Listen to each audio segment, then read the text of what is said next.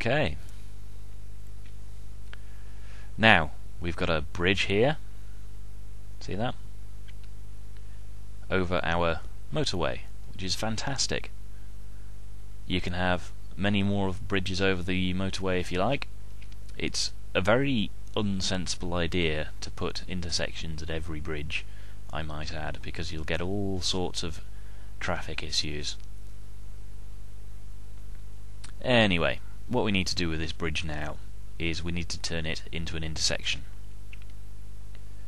And what I'm going to teach you how to do is to create a diamond intersection. It's actually called a diamond intersection. So what we need to do first is we need to get our streets and we need to flatten some land around the side of our motorway here where we're going to place our junction.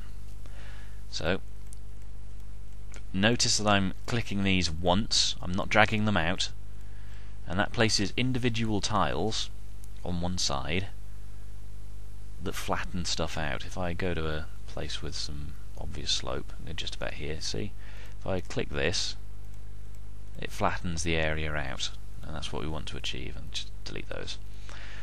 On the other side, you can get away with just dragging it like this, because it's just copying the slope from our other side, and you need to do this both sides of your bridge.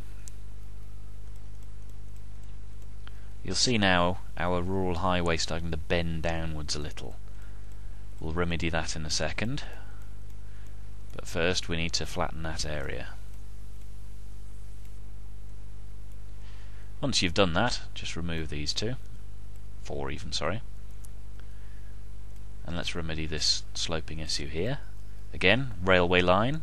Place a couple of single tiles down first and drag from the rest and that flattens our highway out again. Okay. Now we've got the ground prepared, we need next to go into our highways menu, build motorways and ramps, and then go to rural highway modular interchange system. This icon looks like a interchange oddly enough.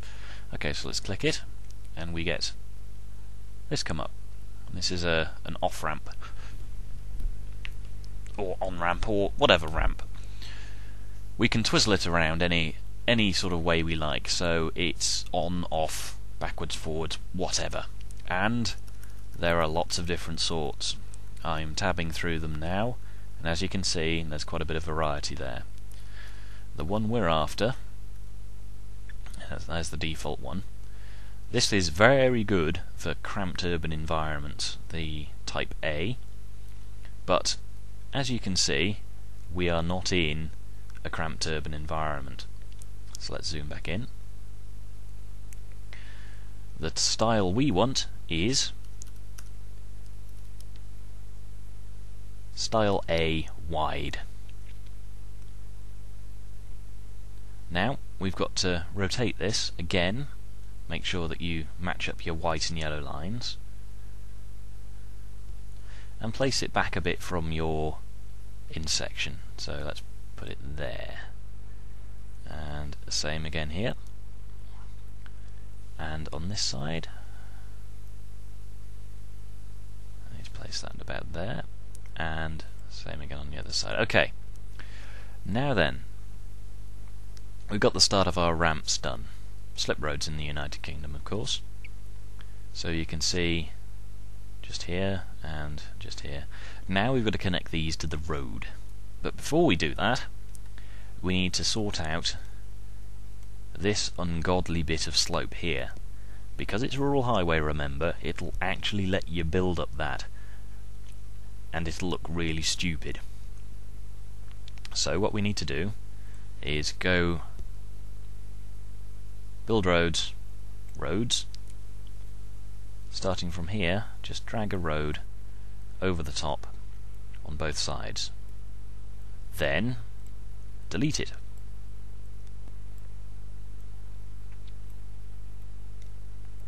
There we are. We've now got our nice slope needed for the slip ramps. So, we go back to build motorways and ramps. Now go to the rural highway, the draggable tool. And you remember what happened from the starter piece in the last video? In this time, we start from here on the slip road, and as we drag it out, you see it copies the single lane.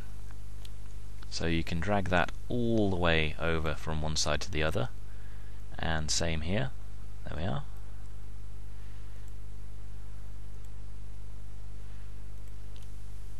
And as if by magic, we've now got a completely functional diamond interchange.